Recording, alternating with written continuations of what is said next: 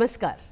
दूरदर्शन यादगिरी के हिंदी प्रोग्राम चमेली की इस नई प्रस्तुति में मैं आपकी होस्ट पूनम गुलेछा आप सबका तहे दिल से स्वागत करती हूँ। जब भी हम कोई नया काम करते हैं, किसी से जब हम मिलते हैं, हम हमेशा भगवान को याद करते हैं। बड़ों ने भी कहा है, कोई भी काम शुरू करने से पहले किसी से भी जब आप मिलते हैं तो आप कैसे किसी का स्वागत करते हैं, कैसे किसी से आप मिलते हैं? आप बोलते हैं, राधे राधे। जय श्री कृष्ण। आज हम जिस पावन अवसर को मनाने जा रहे हैं, जिसके बारे में आज हम आपसे बात करने जा रहे हैं, वो है महावीर जयंती। यानी कि जैन धर्म को मानने वाले चौबीसवें तीर्थंकर जो उनके भगवान हैं, उनका जन्मदिन। तो जैन जब एक दूसरे से मिलते हैं, वो कहते हैं, जय जिनेन्द्र इसीलिए आज हम अपने कार्यक्रम की शुरुआत करने जा रहे हैं। आप सबका अभिनंदन करते हुए ये कहते हुए, जय जिनेन्द्र आज हम बात करने जा रहे हैं महावीर जयंती के बारे में। जैसे मैंने बताया, जैन धर्म के चौबीसवें तीर्थंकर महावीर भगवान, महावीर स्वामी, जिन्हें हम वर्धमान के नाम से भी जानते हैं, उनका जन्मदिन है। आज हम बात करने जा रहे हैं हमारे स्टूडियो में हमारे एक्सपर्ट निर्मला बैद जी से, जो कि एक जैन परिवार से हैं। जैन धर्म की फ़िलॉसफ़ी उनके प्रिंसिपल से बचपन से ही ये जुड़ी हुई है।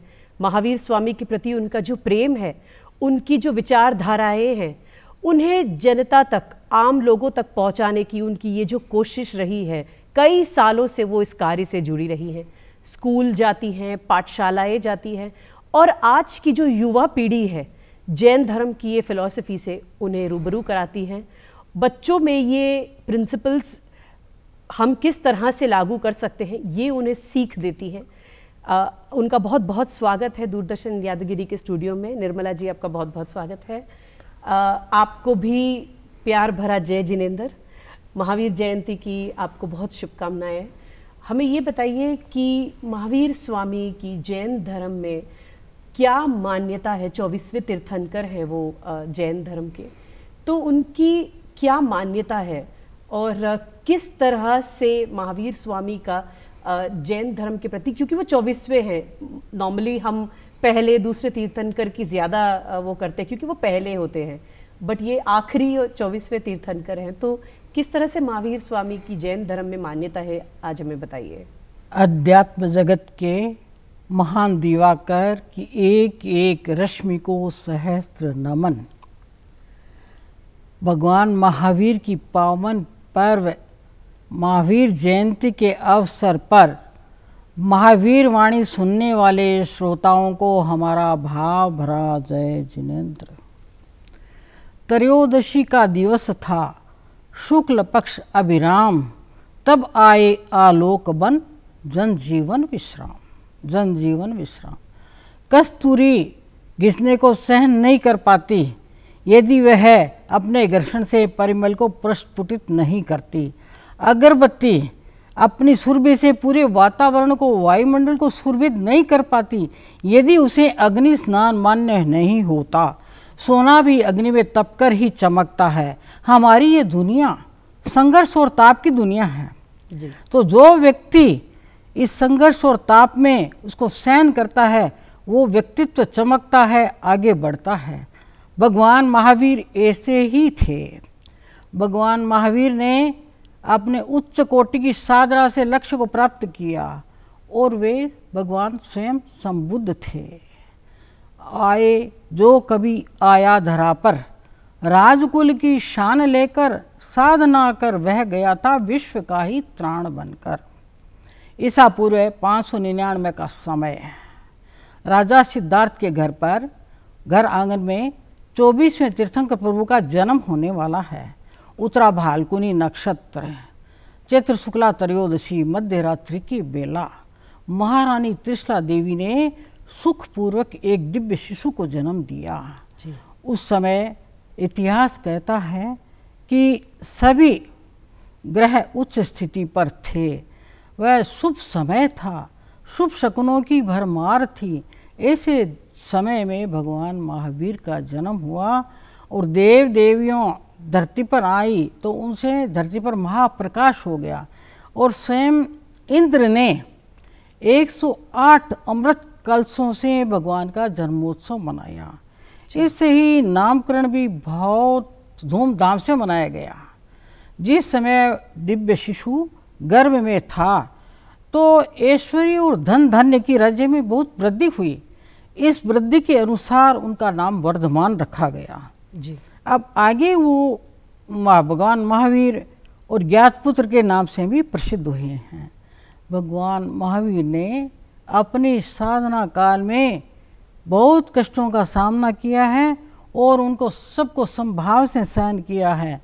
कहते हैं कि तेवीस तीर्थंकरों के कष्ट एक तरफ़ अच्छा। और भगवान महावीर की कष्ट एक तरफ़ कितना कष्ट उन्होंने समभाव से सहन करके अपनी कर्म निर्जा करके मुक्ति को प्राप्त हुए हैं। अच्छा। एक रात्रि में संगम नामक देव ने बीस मरणांतिक कष्ट दिए और भगवान ने सब कुछ संभाव से सहन किया। इतना ही नहीं एक चंड कोशिक सर्प ने भगवान के पैरों पर भीषण डंक मारे सबको संभाव पूर्वक सहन किया। एक बार भगवान महावीर कनकखल आश्रम से उत्तर वाचाल की तरफ़ उसी मार्ग से जा रहे थे। जी। तो गवालों ने देखा और वो दौड़े दौड़े आए हैं। प्रभु आप इधर किधर जा रहे हो? ये रास्ता बहुत खतरनाक है। यहाँ पर सर्प है चंड कोशिक सर्प उसका बहुत खतरा है। ऐसा विस्तर सर्प है कि उसका दृष्टिपात पड़ते ही आदमी भस्म हो जाता है। पर भगवान कहाँ सुनने वाले? वो जीवन और मृत्यु से ऊपर उठ गए थे। उन्होंने अपनी आत्मा में ध्यान में लीन थे वो। वो आगे बढ़ते चले गए और उस वन खड़ में पहुँच कर वहाँ पर उन्होंने एक खड़ी मुद्रा में ध्यान में लीन हो गए। अब वह सर्प वहाँ रहता था। वो पूरा आश्रम घूम करके वहाँ पर आया। आकर उसने देखा एक आदमी या मेरे कौन खड़ा है? वहाँ पर कोई आता नहीं था डर के मारे। जी। तो उसका क्रोध भभक उठा बहुत क्रोधित हुआ हुआ और अपनी एकांत को अपना उसको देखा भाई मेरी एकांत को ये खलित कर रहा है तो उससे भी उसको बहुत दुख हुआ। अब उसने अपना फन उठाया और सूर्य की तरफ़ देखा। देख करके वही दृष्टि भगवान महावीर पर फेंकी। अब भगवान महावीर की चारों तरफ़ विष की धारा बह चली।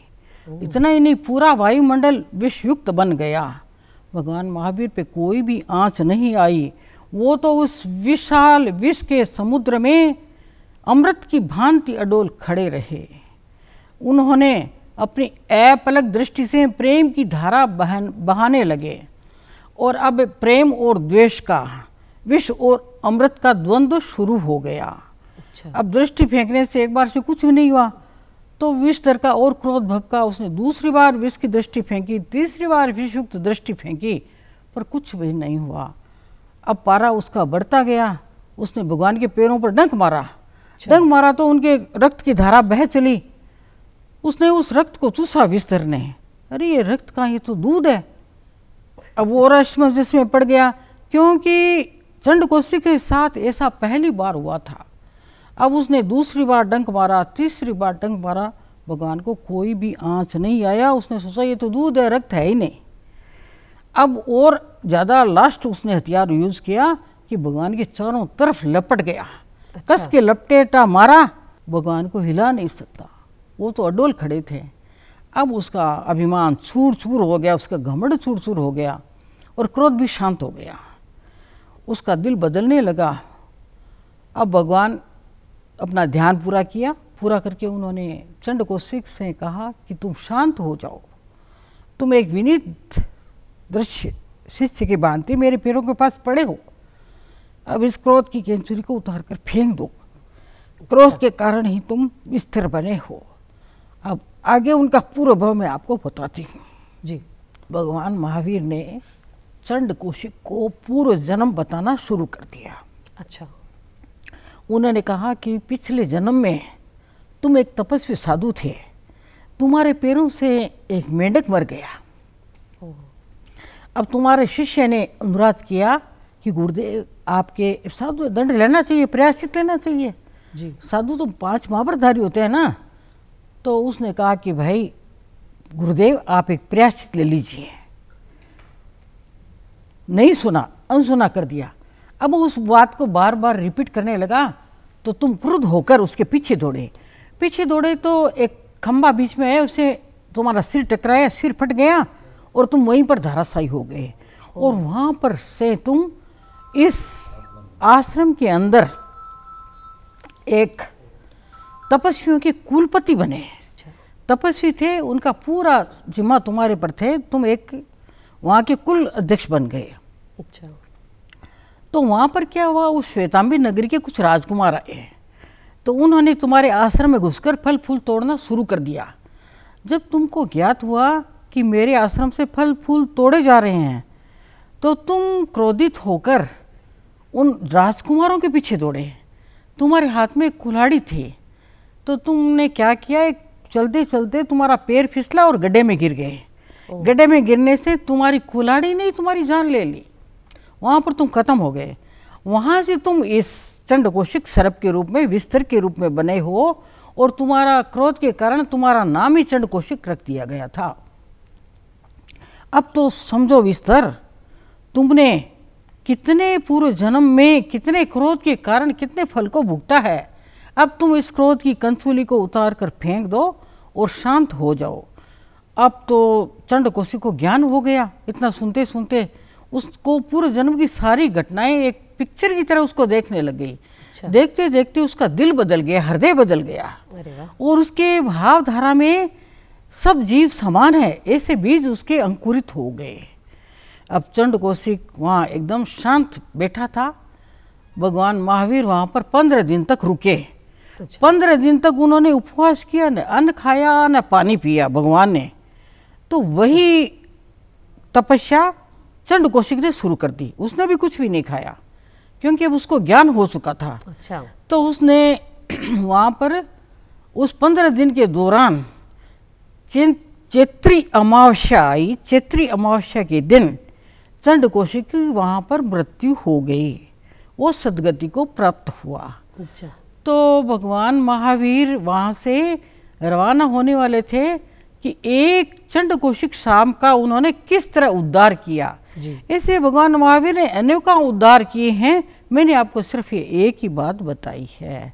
अब चंड कौशिक भगवान के वहाँ से दूर निकल गए चंड कौशिक अपना ऊपर गया और वो अपने रास्ते पर साधना में थे। तो भगवान महावीर की साधना बारह वर्ष और छः मास की रही है। अच्छा। उस साधना काल में भगवान प्राय ध्यान में नील- लीन रहे मौन व्रत रखा प्राय प्राय मौन और ध्यान में वो रहे थे। अच्छा। अब हमको ये जानना भी ज़रूरी है कि भगवान महावीर के दर्शन क्या सिद्धांत क्या है और उनकी उपयोगिता क्या है। जी। इसको हम जानकर ही भगवान महावीर के बारे में पूरी जानकारी प्राप्त कर सकते हैं। भगवान महावीर के बारे में आचार्य महाप्रज्ञ कहते हैं कि भगवान एक महावीर एक मृत्य है दृष्टिकोण और सत्य है। मानव मरता है पर दृष्टिकोण और सत्य कभी नहीं मरता। जी। महावीर अमर है सतत प्रभा स्वर है और इस दर्शन और सिद्धांत की भूमिका पर एक प्रज्वलित प्रदीप्त दीप की भांति भगवान महावीर है। जी। दर्शन और सिद्धांत को लेकर अपनी तपस्या में चल रहे थे। तो अब आदमी जब दुनिया के संसार के दुखों से ऊब जाता है तो वह सत्य की शाश्वत खोज के अंदर निकल पड़ता है। वहाँ पर इस सत्य शाश्वत खोज में जो है और उपादेय का जो ज्ञान होता है जो मीमांसा होती है वही दर्शन बन जाता है। जी। जो जीता है युग के साथ युग की कठिनाइयों के साथ और युग की कठिनाइयों के साथ युग की समस्याओं का समाधान देता है वही युग प्राण है वही महावीर है। अब दर्शन की मीमांसा बौद्धिकता के आधार पर होती है। यूनान के प्रसिद्ध दार्शनिक प्लेटू अफलातू का एक प्रसिद्ध वाक्य है कि दर्शन का उद्भव बहुत आश्चर्य से होता है। जी। भगवान महावीर ने दर्शन और सिद्धांत दिए। दूसरा उनका महत्वपूर्ण सूत्र था आवश्यक और अनावश्यक का विवेक होना। क्या आवश्यक है और क्या आवश्यक? अनावश्यक है। इसका विवेक होना बहुत ज़रूरी है। भगवान महावीर का दर्शन किसी वर्ग जाति संप्रदाय से जुड़ा हुआ नहीं है। भगवान महावीर के दर्शन में जी। प्रत्येक व्यक्ति को परमात्मा बनने की स्वाधीनता दी गई है। वो सबके हैं सब दर्शन सबका दर्शन है उनका दर्शन है। जी। महावीर स्वामी के जो सिद्धांत भी हैं वो आ, ऐसा नहीं है कि सिर्फ़ जैन धर्म से ही रिलेटेड है। आई थिंक जो नॉन वायलेंस वो सिखाते हैं जो सच बोलने की बात सिखाते हैं जैसे चंड कौशिक का भी उन्होंने घमंड तोड़ा था मतलब अपने ही ईगो से आप उभर कर ऊपर आइए अपने क्रोध पर नियंत्रण रखिए। हम्म। ये केवल जैन धर्म तक नहीं है ये सभी के सभी लिए ये सिद्धांत सभी लागू होते हैं। जी। तो ऐसे सिद्धांतों के बारे में जैसे आप बोल रहे थे कि आप हमें बताइए कि उनकी वाणी में उन्होंने किस तरह से ऐसे सिद्धांत दिए हैं दुनिया को। ऐसा ही वर्तमान में क्या है कि आज अणुव्रत आंदोलन का पिचोत्तरवा वर्ष अमृत महोत्सव के रूप में मनाया गया। अणुव्रत आंदोलन के प्रवर्तक थे आचार्य श्री तुलसी और वर्तमान में उन्होंने आचार्य तुलसी ने नैतिकता के छोटे छोटे नियम छोटे छोटे व्रत बनाए जी। जो कोई भी संप्रदाय उसे ग्रहण करके अपने जीवन को बदल सकता है। अच्छा। और वो वर्तमान में आचार्य उनके ही उत्तराधिकारी आचार्य महाश्रमण जी अणुव्रत का प्रचार गाँव गाँव बस्ती बस्ती में कर रहे हैं। और वे अपनी अणुव्रत यात्रा के दौरान क्या क्या शिक्षा देते हैं? सबको नशा मुक्त जीवन जीने की प्रेरणा देते हैं। अच्छा। ईमानदारी की प्रेरणा देते हैं। और सद्भावना सौहार्द से रहो यह उनको प्रेरणा देकर ये उनका संकल्प भी करवाते हैं। अच्छा। ये नहीं खाली प्रेरणा दिया उनको समझा करके भी ये नियम तुम लो ये संकल्प तुम करो। जी। तो ये आचार्य महाश्रमण जी अभी इस पर बहुत ज़्यादा कह रहे हैं। और वैसे भगवान महावीर आज हमारे बीच नहीं है जी। पर उनकी वाणी हमारे पास सुरक्षित है। बिल्कुल। भगवान महावीर की वाणी हम अपने जीवन में उतारें। भगवान महावीर की वाणी का एक फलित होता है मैत्री भाव। भगवान महावीर ने सबके प्रति मैत्री भाव रहने की प्रेरणा दी। भी सबसे मैत्री रखो किसी से बेर विरोध मत रखो। इसका एक पद्य कितना सुंदर है मैत्री भाव का आचार्य तुलसी का। मैत्री भाव है मारा सबसे प्रतिदिन बढ़ता जाए। समता सह अस्तित्व समन्वय नीति सफलता पाए, शुद्ध शाद्य के लिए नियोजित मात्र शुद्ध साधन हो। संयममय जीवन हो। नैतिकता की सुरसरिता में जन जन मन पावन हो संयममय जीवन हो संयम मय जीवन हो। मतलब मैत्री का व्यवहार सबके साथ होना चाहिए ये भी एक नैतिकता का और भगवान महावीर की वाणी का सूत्र है। अच्छा। एक धनी व्यक्ति रोड पर जा रहा था। जी। तो वहाँ पर सामने उसे एक भिकारी मिला और भिकारी ने उसके आगे हाथ फैला दिया भिकारी हाथ फैलाता है। जी। तो उस धनी मानी व्यक्ति के मन में आया कि इस भिकारी को मुझे कुछ देना चाहिए। अच्छा। अब उसने अपने जेब में हाथ डाला। हाथ डाला तो जेब खाली कुछ भी नहीं क्योंकि वो घर से जल्दी जल्दी में निकला था। अच्छा। उसने कितनी अच्छी बात कही कि मित्र क्या करूँ? मित्र हो लेकिन मेरे पास अभी तुम्हारे देने के लिए कुछ भी नहीं है। जी। उसने कहा बाबू जी आपने तो मुझे बहुत कुछ दे दिया। आपने मित्र कहकर मेरी झोली भर दी।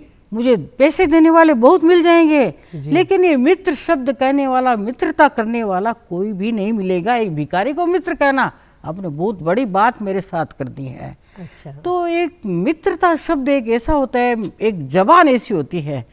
बादशाह और बीरबल सभा में बैठे हुए थे सभा जुड़ी हुई थी। बादशाह ने सभासदों से पूछा कि भाई सबसे मीठी चीज़ क्या होती है? जी। तो एक व्यक्ति उठा बोला रसगुल्ला बहुत मीठा होता है। दूसरा बोला मिश्री बहुत मीठी होती है। अब तीसरा बोला गुड़ बहुत मीठा होता है।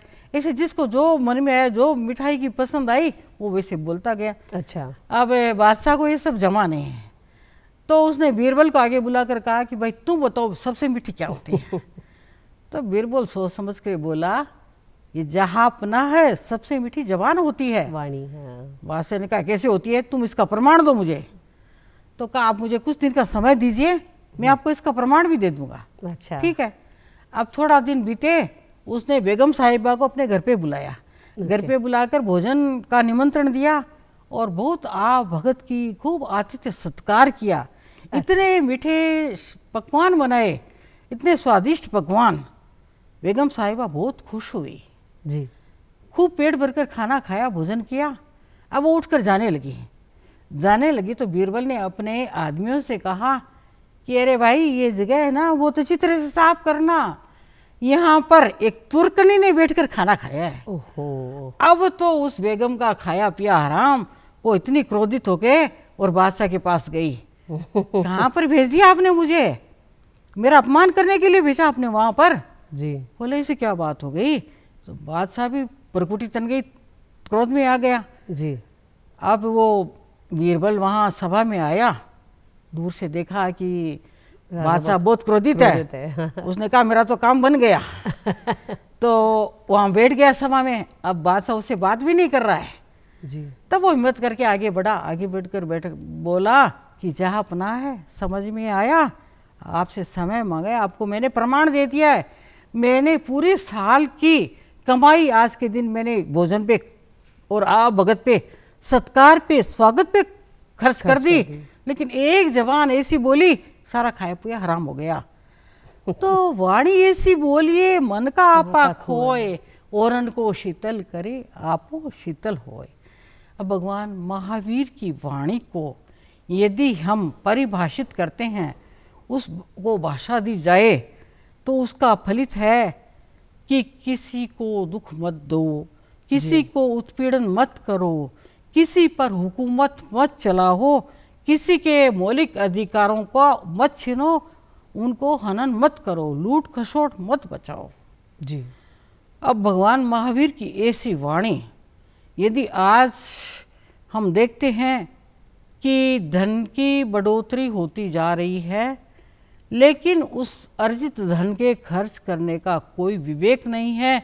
भगवान महावीर ने अपने अतीन्द्रिय ज्ञान के आलोक में अनेक सिद्धांतों का प्रतिपादन किया। इस सैद्धांतिक भूमिका को प्रयोग में लाते हुए उन्होंने पिछड़ी हुई नारी जाति का उद्धार किया। ये भगवान महावीर ने काम किया जो आज देखो नारी कितनी आगे बढ़ रही है। जी। नारी की आगे भगवान महावीर ने उनका उद्धार किया था। भी पिछड़ी हुई नारी जाति उसको उद्धार करके आगे बढ़ाए उनके शासन काल में छत्तीस हज़ार साध्वियाँ बनी थी दीक्षित हुई और उनमें भी प्रमुख थी चंदनबाला। जो आपने सुना होगा चंदनबाला ने कितना एक अपना था उनका अपना एक अलग ही प्रतिष्ठित थी वो। जी। तो भगवान महावीर का ये सिद्धांत बहुत ही कारगर है। आज जो चल रहा है हम देख रहे हैं नारी कितनी आगे बढ़ रही है। जी। तो भगवान महावीर ने जो परिग्रह की सीमा बताई आज परिग्रह इतना बढ़ गया कि एक तरफ़ तो हम देख रहे हैं कि बड़ी बड़ी अट्टालिकाओं में रहने वाला व्यक्ति ऐसो आराम की ज़िंदगी जी रहा है। जी। दूसरी तरफ़ झुगी झोंपड़ी में बैठा एक व्यक्ति कैसी गुजर अपनी ज़िंदगी को बसर कर रहा है एक टाइम खाने की रोटी की उनको मुश्किल हो रही है। जी जी। तो ये विषमता नहीं रहनी चाहिए। भगवान महावीर का सिद्धांत है कि परिग्रह का उपयोग सीमा में करो। ऐसे तो अनंत आकांक्षाएँ आदमी की आकाश के समान होती है उसका कोई पार पार नहीं है। तो अपनी आकांक्षाओं को सीमित करो। भगवान महावीर की ये वाणी यदि हम सोचें कि ये आज परिग्रह का व्यक्तिगत उपभोग बहुत बढ़ रहा है। यूनान का राजा मिडास उसके मन में आया और देवता से वर मांगा कि मुझे देव ऐसी वरदान दे दीजिए मैं जिस चीज़ को हाथ लगाऊँ सोना बन छूं वो सोना बन जाए। तो देव ने कहा तथास्तु। अब वो जो भी चीज़ को हाथ लगाता वो सोना बन जाता। अब उसकी बिटिया प्यारी बिटिया दौड़ी दौड़ी पापा के पास आई। तो पिता मिडास ने प्यार से उसको छुआ। वो सोने की गुड़िया निर्जीव बन गई। अब मिडास को सोन भूख लगी। तो रोटी को छुआ पानी को छुआ सब सोने के बन गए। अब वो भूख और प्यास से छटपटाने लगा। जी। उसने अब चिंतन किया कि मैंने गलत वर मांग लिया गलत चिंतन विचार मेरे मन में आ गया। उसने देव को वापस याद किया। देव से माफ़ी मांगी मैं पहले वैसा था जैसा ही मुझे बना दीजिए। मुझे ये वरदान नहीं चाहिए आप अपना वर वापस ले लिए। जी। तो एक लालच कैसी धन के प्रति होती है उसको समझना बहुत ज़रूरी है। भगवान महावीर ने अनेकांत का सिद्धांत दिया।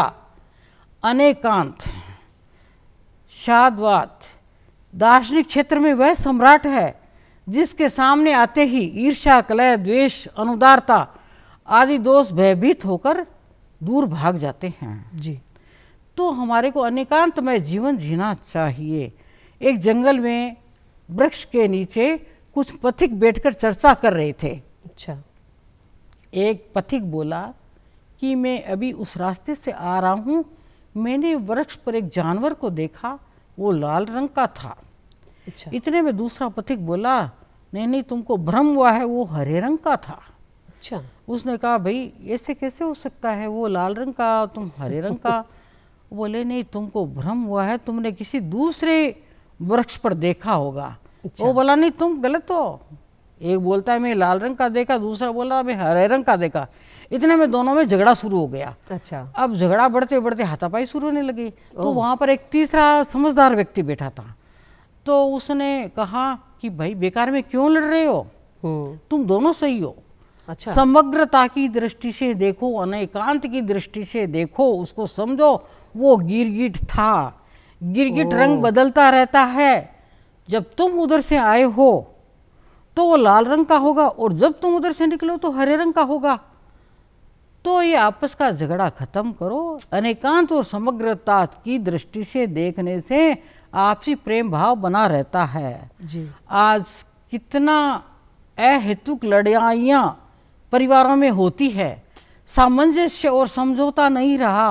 अशांत वातावरण बच्चों पर क्या संस्कार आते हैं? आज आप देख रहे हो हर परिवार में अशांति झगड़ा कलह द्वेष। जी। इनको शांत करने के लिए महावीर के सिद्धांत और दर्शन को अपने जीवन में उतारा जाए तो बहुत कारगर सिद्ध हो सकते हैं।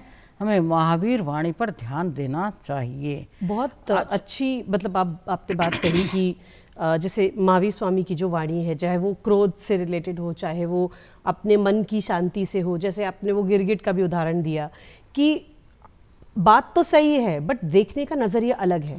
हमें वो नज़रिया समझना चाहिए उसके उसके प्रति। हाँ भगवान महावीर का अनेकांत सिद्धांत। अनेकांत का सिद्धांत। तो हमें उसे समझने की भी कोशिश करनी चाहिए कि हर इंसान का पर्सपेक्टिव सेम चीज़ के लिए अलग हो सकता है। इसमें ज़रूरी ये है कि हम अपने मन में वो मेच्योरिटी और वो शांति बनाए रखें जो महावीर स्वामी भी चाहते थे कि आप अपने मन को जहाँ तक हो सके शांत रखिए। ये जो आकांक्षाएँ हैं अपनी जहाँ ये आकांक्षाएँ बढ़ती हैं वहाँ पे इच्छा बहुत बढ़ती है उसे पाने की इच्छा बहुत बढ़ती है जब हमें नहीं मिलता तो क्रोध होता है है। अशांति होती है तो वो सारा साइकिल वहीं से शुरू होता है। इसलिए संयम का जीवन शुरू करो। जी तो क्षमा करो। ये तो ये सारे जो सिद्धांत आपने बताए ये बहुत रेलेवेंट है आज की डेट में। आज की जो युवा पीढ़ी है जैसे आप घरों में बता रहे हो देश विदेश में जो आज लड़ाइयाँ हो रही इतनी जो लड़ाई है इतनी जो अशांति है लोगों में ये ये आज के समय में बहुत रेलेवेंट है। किस तरह से हम इसे हमारे जीवन में उतार सकते हैं? इसके लिए मानसिक अशांति बहुत है। मानसिक अहिंसा होनी चाहिए। आज हमने हिंसा को कितना संक्षिप्त यानी सीमा कर दी है किसी जीव को मारना हिंसा और नहीं मारना अहिंसा। यहाँ तक हिंसा समाप्त हो जाती है। कितना सीमित दायरा बना दिया है कि इससे विकास होने का अवकाश नहीं बचा है। बिल्कुल। तो हमको मानसिक अहिंसा पर विश्लेषण करना चाहिए। मानसिक अहिंसा कैसे हो सकती है? हम मानसिक अहिंसा को अपने जीवन में उतारें। तो अहिंसा मानसिक अहिंसा यदि होती है तो अहिंसा एक बहुत उन्नत सामुदायिक मानसिक हिंसा अहिंसा होगी। तो समाज में एक उन्नति और विकास का रास्ता अपने आप खुल जाता है। ज़रूरत है हम मानसिक अहिंसा को अपने जीवन में उतारें। तो मानसिक अहिंसा बहुत ज़रूरी है और अब भगवान महावीर का एक महत्वपूर्ण सूत्र है जी। जो हमारे जीवन का सफलता का महत्वपूर्ण सूत्र हो सकता है विधायक दृष्टिकोण। विधायक दृष्टि से हमको देखना। अच्छा विधायक दृष्टिकोण उसी के पास हो सकता है जो ध्यान की साधना करता है। अच्छा। और जिससे मैं अपने मन को पवित्र और शांत बनाया है अपने आत्मा को पवित्रता की ओर ले गया है जी। और उसने जिसने ध्यान की महावीर की ध्यान की साधना को अपने जीवन में उतारा है वो विधायक दृष्टिकोण से अपना जीवन चला सकता है जी। आज हम देखते हैं कि भगवान महावीर की साधना को पुनर्जीवित ध्यान की साधना को पुनर्जीवित किया है जी तो उस साधना में उसको और आगे बढ़ाया है आचार्य महाप्रज्ञ जी ने अच्छा। आचार्य महाप्रज्ञ जी ने एक प्रेक्षा ध्यान की पद्धति का निरूपण किया। उन्होंने बहुत से शास्त्रों की खोजबीन करके इस ध्यान पद्धति का निरूपण किया है प्रेक्षा ध्यान। अच्छा। जो आज यहाँ भारत में भी और विदेशों में भी बहुत प्रचलित है। अच्छा। और इससे व्यक्तियों को बहुत लाभ होता है। बहुत चेंजिंग उनमें आई है महावीर इस महावीर की ध्यान साधना और आचार्य महाप्रज्ञ की प्रेक्षा ध्यान पद्धति। आज यहाँ पर भी हैदराबाद में भी हम लोग हर पुलिस अकादमी में चाहे सीआरपीएफ ले लो चाहे निशा ले लो चाहे आर्मी चाहे एनएफसी बहुत सी पुलिस अकादमी में एपी पुलिस अकादमी थी पहले। जी, जी, उसमें जी। भी ये प्रेक्षा ध्यान के प्रयोग करवाए गए हैं। अच्छा। और उसमें बहुत लाभ हुआ है उनको। यहाँ पर एक एक महीने के ऑफिसरों के ऑल इंडिया से गजेटेड ऑफिसर्स आते थे। जी। वहाँ पर हम भगवान महावीर की साधना पद्धति आचार्य महाप्रज्ञ जी की प्रेक्षा ध्यान की पद्धति उनका प्रयोग करवा के सब में बहुत बदलाव आए हैं। आज भी वो उस प्रेक्षा ध्यान पद्धति को याद कर रहे हैं कि हमें कैसे नशे की आदत थी वो अच्छा। हमारी छूट गई। कैसे हमारे मन में अशांति थी क्रोध था उसमें हमारे को बहुत लाभ हुआ है। आज उसी प्रेक्षा ध्यान की पद्धति को मैं हम लोग स्कूलों में भी जाते हैं कॉलेजों में भी जाते हैं। नैतिकता के साथ साथ अणुव्रत आंदोलन के साथ साथ इस प्रेक्षा ध्यान की पद्धति का भी प्रयोग करवाते हैं। इससे क्या है इमोशनल डेवलपमेंट भावात्मक शुद्धि कैसे होती है बच्चों की? कैसे उनको उससे उबारा जाए क्रोध से? जी। वो भी प्रयोग करवा के उनको वो भी हम सिखाते हैं। ये जो पद्धति है आप आज दूरदर्शन के माध्यम से हमारी ऑडियंस को ऐसा कुछ बता सकते हैं जो घर बैठे या आपको देखते हुए अगर हम अपनी रोज़मर्रा की ज़िंदगी में उससे उस पद्धति को उतारने की कोशिश करें या करने की अगर कोशिश करें तो एक छोटी सी कोई ऐसी चीज़ आप हमारी ऑडियंस को आज बता सकते हैं? ऐसे तो देखिए ध्यान पद्धति बहुत बड़ी है ध्यान पद्धति बहुत बड़ी है। जी। इसमें तेरह तो चैतन्य केंद्र है। अच्छा। अच्छा शुरू में हम बोले तो चैतन्य केंद्रों पर ध्यान किया जाता है। शुरुआत की जो पद्धति है चार है उसके कायोत्सर्ग दीर्घ श्वास परीक्षा है ये अपने ज्योति केंद्र परीक्षा है। आगे कायोत्सर्ग से आगे और भी मतलब हर लेशा ध्यान है। रंगों का ध्यान है बहुत ध्यान है इसमें। जी। तो धीरे धीरे किया जाता है। मैं तो आप एक को छोटी सी एक तो महाप्राण ध्वनि की मैंने बताया था कि किस लिए हम सांस भर के महा प्राण ध्वनि करें। जी। जिससे हमारे ये जो ज्ञान केंद्र है चोटी का केंद्र है जी। उस पर एक अलग ही वाइब्रेशन होते हैं। उससे हमारे सारे ये मस्तिष्क के सारे न्यूरॉन्स एक्टिवेट होते हैं। अच्छा। जो सुप्त शक्ति हमारी सोई हुई है वो जागृत होती है और हमारा मेमोरी पावर उससे बढ़ता है। अच्छा। एक तो वो पद्धति है। दूसरी एक ऐसी है कि दीर्घ श्वास परीक्षा। आप पाँच में सेकंड पाँच सेकंड में श्वास को भीतर लीजिए। जी। ध्यान रहे श्वास लेते समय आपकी पेट की मांसपेशियाँ फूले। सही ध्यान का तरीका है। अच्छा। और फिर पाँच सेकंड उसको अंदर रोकिए। मैं आपको प्रयोग करके बताती हूँ। जी। और फिर आप वापस पाँच सेकंड अंदर रोके उसका वापस रेचन कीजिए। अच्छा। उसको बाहर निकालिए। बाहर निकाल के फिर पाँच सेकंड सिर्फ़ पाँच सेकंड उसको और फिर बाहर रोकिए और फिर रोक करके फिर वापस अंदर लीजिए फिर बाहर निकालिए। अच्छा। देखिए आप भी करिए। वो पहले के जो है ही शिथिलता वो शरीर को उसमें तो बहुत समय लगेगा। जी। तो आप सिर्फ़ ये इतना सही कर लीजिए। आँखें बंद करके गहरा लंबा सांस पाँच सेकंड के अंदर भीतर मिले। जी। अब पाँच सेकंड अंदर रोके।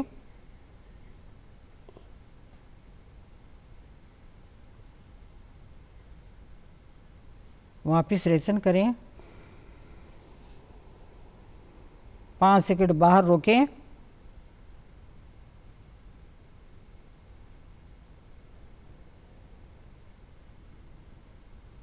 उन्हें भीतर लीजिए, फिर पाँच सेकंड रोकिए।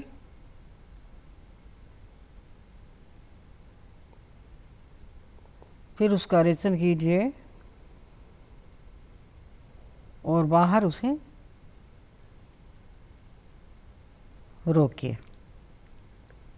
बहुत अच्छा लगता है जब आप गहरी आ, सांस लेते हो एक स्थिरता एक शीतलता जब आप अपने श्वास पे भी आप फोकस करते हो तो मैं ये नहीं बोल रही हूँ कि खास तौर से जैन धर्म में ही ये रेलेवेंट है। आज हमारी ऑडियंस जो ये देख रही है ये एक तरीका है आप अपने आप से जब जुड़ेंगे अपनी श्वास के द्वारा तो अपने अंदर जो शीतलता आएगी ये महावीर स्वामी की वाणी है। ये वह बताते हैं कि एक मूल कारण है जब आप अपने आप से जब जुड़ते हैं अपने अंदर वो स्थिरता और शीतलता लेकर आते हैं तब जो ये आपके दुर्भाव होते हैं जैसे कि वायलेंस हो गया क्रोध हो गया अहंकार हो गया। अहंकार हो गया ये सबसे लड़ने में और आपको एक बेहतर इंसान बनाने मन की एकाग्रता ये मन की एकाग्रता इसमें आपको एक बेहतर इंसान बनाने की एक कोशिश करता है। ये है महावीर स्वामी की वाणी। आज हम बात कर रहे हैं निर्मला बैद जी से, जो हमें बता रही हैं कि किस तरह से श्वास के इस माध्यम से महावीर स्वामी की इस वाणी को अपने अंदर समा लेने की इस कोशिश को, वो पूरी दुनिया तक ले जाने की कोशिश कर रही हैं। कहीं मत जाइएगा, हमारे साथ जुड़िए। इस ब्रेक में ये जो पाँच सेकेंड का श्वास लेने का जो टेक्निक हम बता रहे थे, उसे ज़रूर प्रैक्टिस करिए। कहीं मत जाइए। हम अभी वापस आते हैं एक छोटे से ब्रेक के बाद।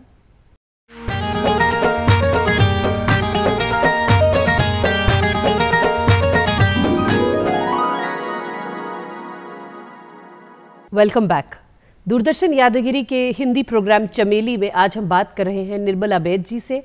जो महावीर जयंती के इस पावन अवसर पर हमें महावीर स्वामी की वाणी से रूबरू करा रही हैं। हमें ये बता रही हैं कि किस तरह से महावीर स्वामी की जो वाणी है, उनके जो आदर्श है, उन्हें हमें हमें जीवन में उतार कर कैसे अपना जीवन सार्थक, सुंदर, नियमित बनाना चाहिए, शांतिपूर्वक, बिना अहंकार के, बिना आकांक्षाओं के, एक संयम भरे जीवन में अपना जीवन व्यतीत कर कर किस तरह से एक बेहतर समाज, बच्चों को अच्छे वैल्यूज़ और एक सुख शांति पूर्वक घर के माहौल में रहने की कोशिश करनी चाहिए। निर्मला जी, हम आपसे बात कर रहे थे महावीर स्वामी के बारे में। ये जो पावन अवसर है, महावीर जयंती, जिसके कारण आज हम आपसे जुड़ रहे हैं। हमें ये बताइए कि जैनियों के लिए ये कितना बड़ा अवसर है? किस तरह से हम आज खास तौर पर महावीर स्वामी को भगवान महावीर को याद करते हैं उनकी भक्ति में लीन होने की कोशिश करते हैं। तो इस इस दिन क्या होता है? भगवान महावीर का जन्म भी बड़े धूमधाम से हुआ था। अच्छा। तो उसको थोड़ा धूमधाम से भी मनाते हैं। बिल्कुल। भगवान की साधना की दृष्टि से देखें तो उन्होंने ध्यान बहुत किया मौन बहुत की तपस्याएँ बहुत की कष्ट भी बहुत सहन किए। जी। तो वो भी थोड़ा हमारे जीवन में आना चाहिए। बिल्कुल। धूमधाम से मनाया। इस दिन महावीर जयंती के दिन कई लोग उपवास भी बहुत रखते हैं। अच्छा। दिन भर कुछ खाना न पानी पीना कुछ भी नहीं करते। अच्छा। जुलूस और भी निकलते हैं। सब तरह से होते हैं। साधु संत उपवास भी रखते हैं। अच्छा। क्योंकि भगवान महावीर को तो साधना में जी जी। यही उनको श्रद्धांजलि यही उनकी भक्ति श्रद्धा होती है। तो अभी ऐसा है कि अब प्रेक्षा ध्यान के बारे में मैंने आपने आपको बताया प्रेक्षा ध्यान के पाँच सूत्र हैं। पाँच उप समुदाय हैं। इसमें एक है भावक्रिया प्रतिक्रिया वीरती मैत्री मिताहार और मित भाषण। जी। ये पाँचों ही अहिंसा के प्रयोग है। जी। जिसके जीवन में अहिंसा होती है उसी के जीवन में मैत्री की भावना होती है और जो मैत्री पूर्वक जीता है वही अहिंसा को अपना सकता है। अब इन पाँचों का विश्लेषण करूँ तो बहुत समय लगेगा। मैं आपको संक्षिप्त में बताती हूँ कि जब ध्यान शुरू किया जाता है तो इन पाँच उपशब्दाओं को ग्रहण किया जाता है। उसके बाद ध्यान की प्रक्रिया शुरू होती है। जी। तो आप एक मतलब भगवान महावीर का एक ऐसा ध्यान का सिद्धांत वो यदि हम अपने जीवन में उतारें तो बहुत कुछ अपने आप में सीख सकते हैं। जी। और ऐसे देखें तो भगवान की महावीर की वाणी का एक फलित यह भी है कि जैसे देखिए उनके सिद्धांत को कैसे अपनाया जाए। एक व्यक्ति ने लालटेन जलाई जी। दूसरा व्यक्ति आया उसके ठोकर लगाई लालटेन लुढ़क गई अच्छा। उसका कांच फूट गया अंधेरा हो गया। ऐसी लालटेन जलाने से क्या फ़ायदा? जब व्यक्ति के पास आँख होती है तो वो लालटेन देख सकता है। जी। अब लालटेन का प्रकाश भी है दीपक का प्रकाश भी है बिजली का प्रकाश भी है। जी। सूरज और चाँद का प्रकाश भी है। जी। लेकिन जब एक आँख ही नहीं है तो सब अंधकार है वो प्रकाश कोई काम के नहीं है। इसी तरह यदि हम अपने भीतरी चेतना को जागृत करते हैं तभी इन सिद्धांतों को अपने जीवन में उतार सकते हैं। यदि भीतर की चेतना नहीं जागृत होती तो फिर चाहे वह महावीर का सिद्धांत हो चाहे कृष्ण या बुद्ध का सिद्धांत हो कोई भी सिद्धांत हमारे लिए कारगर सिद्ध नहीं होता। और यदि इन सिद्धांतों पर व्यक्ति चलता है तो बहुत बड़ा विकास और उन्नति कर सकता है। व्यक्ति क्या समाज क्या राष्ट्र क्या जी। वो बहुत अपने आप में एक विकसित देश विकसित समाज और विकसित राष्ट्र बन सकते हैं। आवश्यकता है अपनी भीतरी चेतना को जगाएँ और जो ध्यान करता है ना ध्यान में तीन चीज़ों का विकास होना चाहिए। चेतना का विकास हो जी। आनंद का विकास हो और शक्ति का विकास हो। जी। तब सोचना चाहिए कि ध्यान की प्रक्रिया सिद्ध हो रही है। ज़िंदगी केवल जीने का बहाना ज़िंदगी केवल न सिंदूर है पूर्व दिशा का ज़िंदगी का काम है सूरज उगाना ज़िंदगी का काम है सूरज उगाना। ज़िंदगी केवल न जीने का बहाना ज़िंदगी केवल न सांसों का खजाना। ज़िंदगी सिंदूर है पूर्व दिशा का ज़िंदगी का काम है सूरज उगाना। अब सूरज कैसे उगाया जाए? राजा के तीन राजकुमार थे। अच्छा। तीनों को राजा ने बुलाकर सौ सौ रुपये दिए तीनों को। भाई मैंने सौ सौ रुपये दे दिए तुम इन सौ सौ रुपयों से हंड्रेड रुपीज़ से अपने महल को अपने कमरों को भरो। अच्छा। अब पहले राजकुमार ने सोचा कि भाई सौ रुपये से क्या भरूँगा? जुआ खेल लेता हूँ रुपया आएँगे और महल भर दूँगा। अब वो जुए के अंदर सौ रुपया हार हार गया। गया। दूसरे ने सोचा कि सौ रुपये में क्या हो सकता है? कूड़ा क्रिकेट घास फूस भर दिया। अच्छा। तीसरे ने सोचा नहीं उसने एक मोमबत्ती लाया एक अगरबत्ती लाई और एक माचिस तिल्ली लाया। उसने अगरबत्ती को जलाया पूरा कमरा रोशनी से भर गया। अगरबत्ती जलाई पूरा कमरा सुगंध से भर गया। तो हम भी अपने जीवन को महावीर के सिद्धांतों से प्रकाशित और सुगंधित बनाएँ। बिल्कुल। तभी ये महावीर जयंती मनाने की सार्थकता सिद्ध होती है। ट्रू तो हमारे को चाहिए कि कम से कम प्रतिवर्ष एक एक महावीर का एक एक संकल्प भी अपने जीवन में उतारते हैं। जी। तो एक बहुत बड़ी बात हो जाती है। जी। अब महावीर को जीना अलग बात है। महावीर को मानना अलग बात है।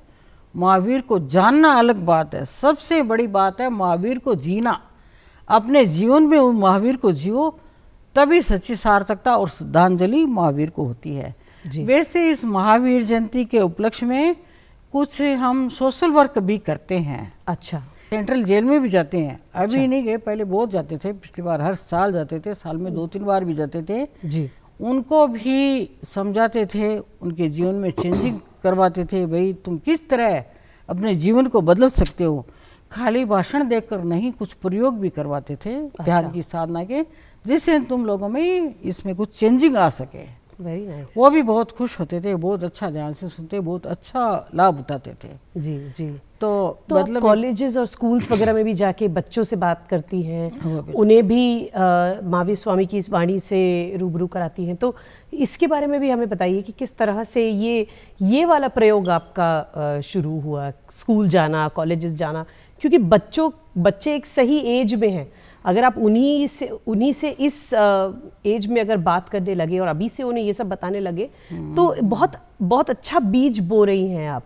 तो ये किस तरह से स्टार्ट हुआ और किस तरह से आज ये आपकी जर्नी कंटिन्यू हो रही है और किस तरह से रिस्पांस मिलता है बच्चों का? हम्म, बच्चों का रिस्पांस मिलता है और स्कूल कॉलेज में ये अध्यापक है प्रिंसिपल है कॉलेजों में भी वो सब भी मुझे अच्छा रिस्पॉन्स देते हैं। अच्छा। वो भी कहते हैं आप अच्छी बात बताते हो हमको भी अच्छा लगता है।